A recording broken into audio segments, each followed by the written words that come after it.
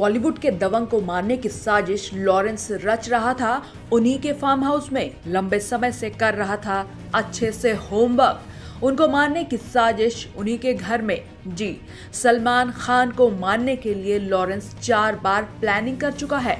इसके लिए उसने राइफल तक खरीदी। इसके लिए लॉरेंस ने शूटर संपत नेहरा को 2018 में सलमान को मारने के लिए मुंबई तक भेजा। सलमान संपत के पिस्तौल की रेंज से काफ़ी दूर रह गए।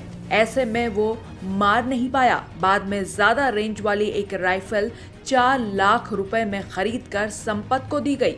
वो सलमान को मार पाता उससे पहले ही पकड़ा गया। इसके बाद लॉरेंस ने चुना कपिल पंडित को सलमान को मारने के लिए। उसने भी दो बार कोशिश की, पर उसकी कोशिशें नाकाम रही। दरअसल, मूसेवाला के मर्डर से पहले ही सलमान को मारने की साजिश रची जा चुकी थी। लॉरेंस ने सलमान को मारने के लिए पूरी प्लानिंग कर ली थी। वो भी मूसे वाले के हत्या से पहले। प्लान ए के फेल हो जाने के बाद गैंग ने प्लान बी तैयार किया था सलमान को मारने के लिए।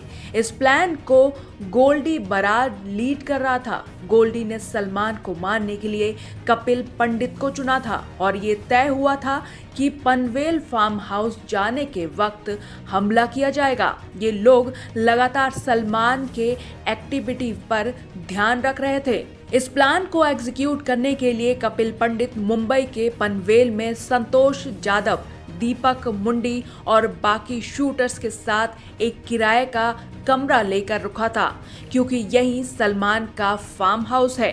वो और उसके साथी यहाँ करीब डेढ़ महीने तक रुके। इन्होंने अपने कमरे में सलमान पर अटैक के लिए छोटे हथियार, पिस्तौल और कारतूस भी जुटा रखे थे। कपिल ने यह भी पता कर लिया था कि Salman Khan hit and run मामले के बाद से गाड़ी की स्पीड कम रखते हैं। सलमान जब भी पनवेल में अपने फार्म हाउस पर आते हैं, तब उनके साथ शेरा भी मौजूद होता है। इन्होंने पूरी रैकी कर ली थी सलमान को मारने के लिए। पर हाल ही में 10 सितंबर को पंजाब पुलिस ने गैंगस्टर कपिल पंडित को नेपाल बॉर्डर के नज़दीक दार्जिलिंग में खारी बावड़ी के बीओपी पानी टंकी एरिए से गिरफ़्तार कर लिया। वो नेपाल के रास्ते देश छोड़ने की फिराक में था। उसे फर्जी पासपोर्ट के ज़रिए काठमांडू से फ़्लाइट पकड़कर दुबई में सेटल होना था। इसके लिए कनाडा में बैठे गैंगस्टर गोल्डी बरार के इशारे पर नेपाल में राजेंद्र जोकर नाम का गैंगस्टर उसकी मदद कर रहा था।